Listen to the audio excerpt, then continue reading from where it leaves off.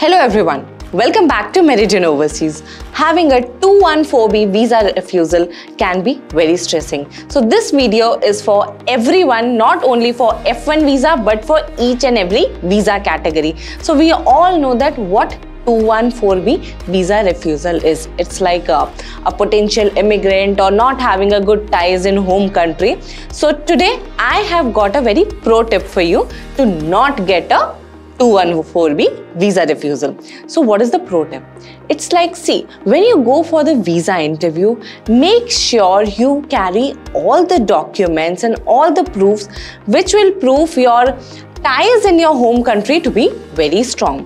What can you have for that? number one you can have your uh, uh, financial asset documents like you can go to your ca and you can ask the ca to prepare an entire like asset certificate whatever uh, property you have, whatever land you have, and entire your business and everything. This will also help you. Like this will prove that you have a lot of things in India and you will be coming back. And along with it, you can also have a letter from your employer.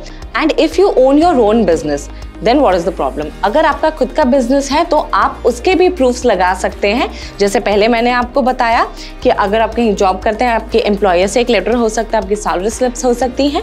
और अगर आपका खुद का business है तो आपके जो proprietor documents होते हैं, जो भी आपकी करेंट या जो भी अकाउंट है आपका, उसकी जो स्टेटमेंट्स होती हैं करेंट आप सिक्स मंथ्स की लेके जा सकते हैं थ्री मंथ्स की लेके जा सकते हैं। तो ये सारी चीज़ें भी बहुत अच्छा आपको बेनिफिट देती हैं। तो ये हर वीज़ा कैटेगरी में आपको काम आता है। अगर आप स्टूडेंट वीज़ा के लिए जा रहे हैं टूरिस्ट वीज़ा के लिए जा रहे हैं, देखिए एसेट सर्टिफिकेट तो ज़रूर बनवाइए। वो बहुत ज़्यादा काम आता है।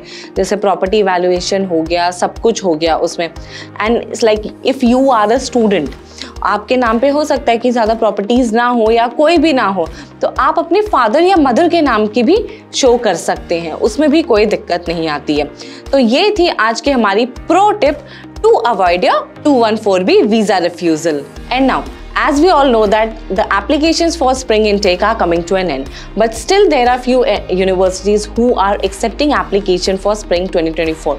So if you feel that you are still interested and wanna try your luck for spring 2024, you can directly contact us at application02 at meridean.org or you can visit us at any branch. Also to get a online counseling, you can visit our website and if you feel that you have a very basic query, you can also comment on our video.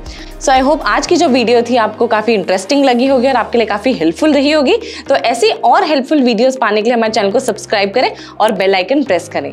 Thank you मिलते हैं next video में।